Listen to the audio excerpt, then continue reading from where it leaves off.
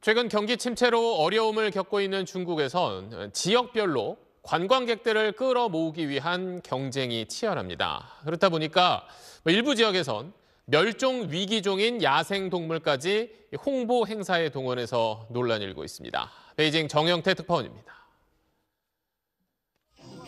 중국의 겨울철 인기 관광지인 하얼빈시의 문화관광국장이 무대에서 직접 춤을 춥니다.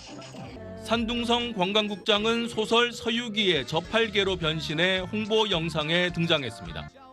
뒤질세라 다른 지역 관광국장들은 삼국지의 관우, 무협지 협객으로 분장했습니다. 각 지방정부가 앞다퉈 관광객 유치에 뛰어든 가운데 무리수도 잇따라 논란이 되고 있습니다. 지린성에선 아기 시베리아 호랑이를 가져다 고양이를 쓰다듬듯 만져보게 했고 헤이룽장성에선 번화가에 두루미를 데려와 관광객을 끌어모았습니다. 하지만 1급 멸종 위기종 야생동물을 학대한다는 지적이 나왔고 뒤늦게 행사는 중단됐습니다. 허난성은 관광지구 홍보에 게임이나 만화 속 등장인물로 분장한 모델을 내세웠습니다. 那祝你考试顺利，学业有成，早日毕业，爱你哦。